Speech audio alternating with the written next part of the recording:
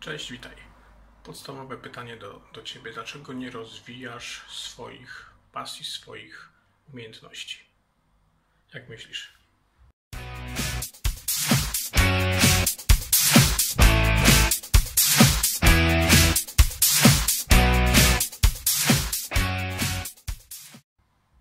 Ja mam na to trzy odpowiedzi. Jedna z nich należy do Ciebie. Po pierwsze, albo się boisz, bo nie wiesz, jak to wyjdzie, czy ci się uda, co ludzie powiedzą na Twój temat, jak będziesz odebrany, odebrana. A może to po prostu strata czasu.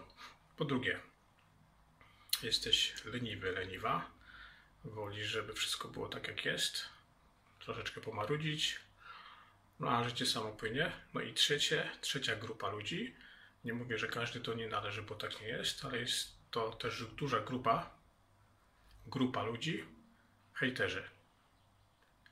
No i teraz ja mam odpowiedź na pierwsze dwa punkty, czyli na strach i na lenistwo. Tutaj pod filmem bądź nad filmem a umieszczę linki z różnymi wartościowymi rzeczami, dzięki którym ja rozwinąłem i dalej rozwijam swój potencjał i swoje zdolności, które przekazuję Tobie, dzięki czemu Ty możesz również no, po prostu siebie rozwinąć stać się lepszą wersją siebie. Także zapraszam, jeżeli będziesz chciał, będziesz chciała skorzystać, no to proszę bardzo, wszystko oczywiście jest za darmo. I oczywiście najważniejsza rzecz, ciśniemy na maksa każdego dnia.